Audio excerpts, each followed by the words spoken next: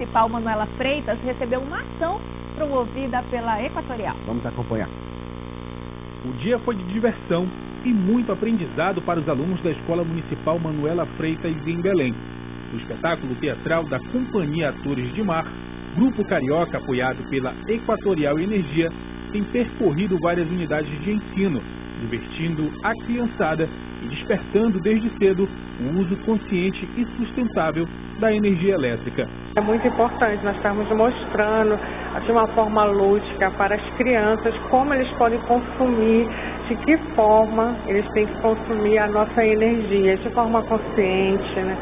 tranquilo, que com economia, porque nós sabemos que isso é sustentabilidade também, sustentabilidade para o planeta, sustentabilidade dos bolsos dos nossos pais, né, para a conta de energia, para que ela não venha muito alta. O espetáculo já percorreu diversas escolas da região metropolitana de Belém e nesta quinta-feira será aberto ao público, uma oportunidade para quem quer estimular a economia de energia para os mais jovens. Levando essa mensagem, esse espetáculo de consumo de energia elétrica, então assim, tá maravilhoso. É muito bom viajar ao país, levando cultura, levando teatro e literatura para todo o país. O jovem Jesus Alexandre, de 12 anos, aprendeu e vai levar a novidade para casa. Eu achei muito interessante e aprendi a economizar energia e quando chegar em casa vou, vou passar para minha família.